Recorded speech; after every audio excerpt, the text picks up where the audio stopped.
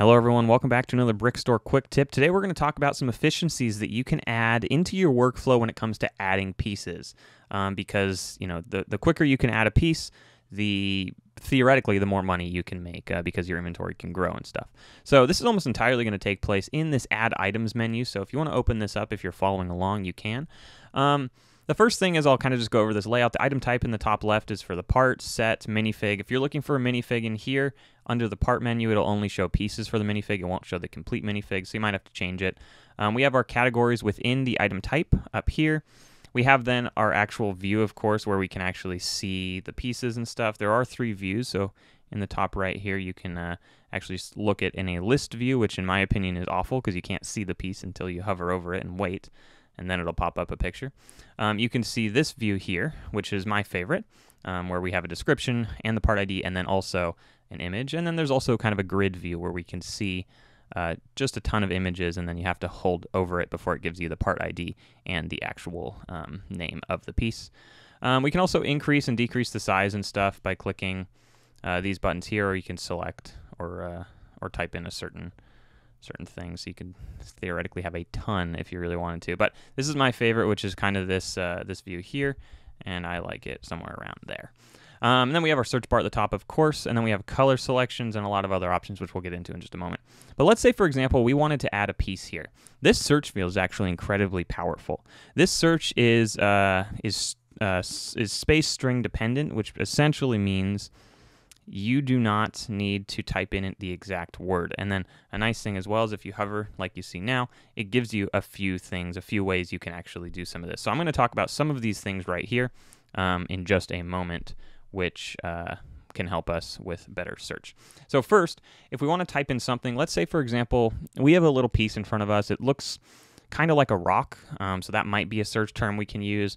It doesn't have any printing, it doesn't have any stickers or anything, so what we're going to do is we're going to we're going to actually take away some search terms. So right now we're in all items because we don't know what category this piece would be in. Tons and tons of items in here and we need to narrow this down so we can find the piece that we want.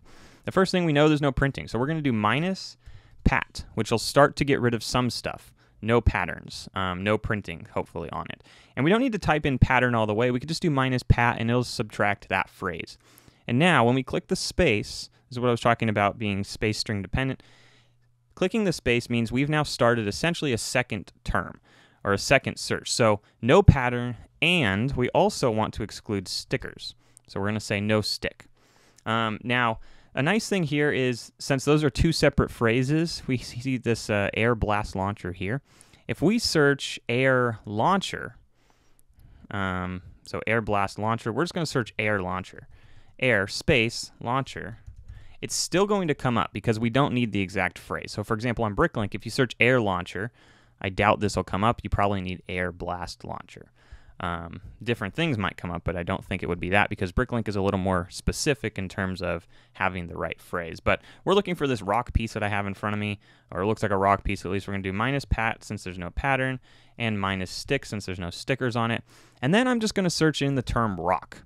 And now we've really limited down what we have here, but we still have quite a few. You can see your search scroll thing there is pretty large still. So still a lot of things here. So this is where the next thing comes in, which is really, really nice. It's called color lock. I have this piece in front of me and it's clearly dark bluish gray. So we're over here. We're currently on the all colors tab. You can also go to known colors, which means whatever you're selected on, it'll only show you the colors for that specific piece.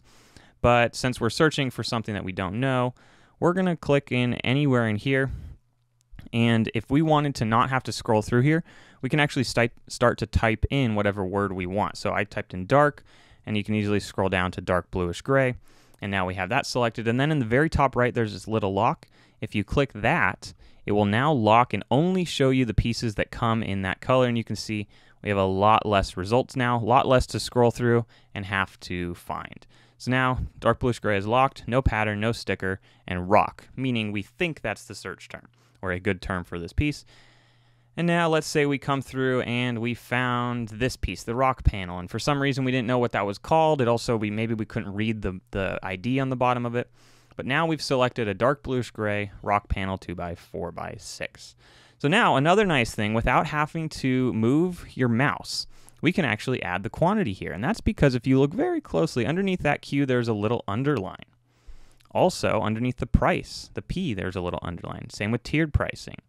Same with condition new, condition used, bulk, cost, etc. So what we can actually do within here is if you're on Windows, you can hold down Alt, or if you're on a Mac, you can hold down Option.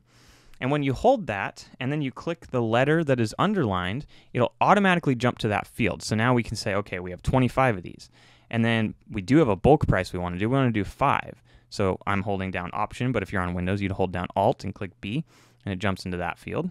And then these are in used condition. These are not new. So we don't need to go click the little bubble. We can do Option or Alt U. It'll automatically select used.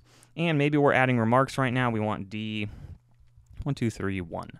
And then by clicking enter, you can add it to your inventory. So now we've added that rock piece and you can see it's actually here within our file. It's not in our inventory yet, but it's in our file. And all those attributes that we, we talked about are in there. And that was all without having to click into each of those fields, which is a huge slowdown. If you click into the quantity, uh, if you click into bulk, if you have to click into price, etc. Very inconvenient by holding down Alt or Option with that first letter, or in the comments it's an M. But any of those letters, it can then automatically jump to that field, which is really, really incredible. Very, very nice. Um, other than that, you know, there are a few other things in here. There's some sets in here. Um, it tells you what sets they come in. There's obviously price guide information.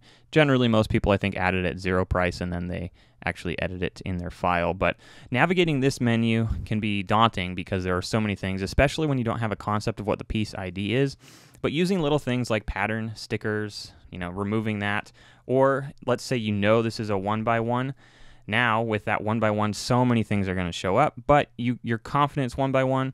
If you put the one by one in parentheses, it'll only now show things that have one space x space one within the results. You can see this technically is a one by 12, but there's a one space x space one, and then there's a two. So anything now that is exactly has that phrase in there, you can do that. So that's very powerful when you know it's for sure a one by one piece. Um, but obviously, you know, if you know the item ID, or uh, or if you just know a better search term for each piece, that would be the fastest way to do it. But if you play around in here, there's a lot of little things you can do to increase your efficiency. Um, but specifically that Alt or Option with this this thing here, as well as Color Lock, that is the biggest help, and it really is incredible when it comes to cataloging pieces a lot more quickly than by clicking in this menu or having to scroll or typing into each field. So hopefully that was helpful. Thank you for watching another Brickstore quick tip. Uh, tune in next time for another quick tip. This one was a little bit longer than quick, but uh, hopefully it was helpful within the add items menu.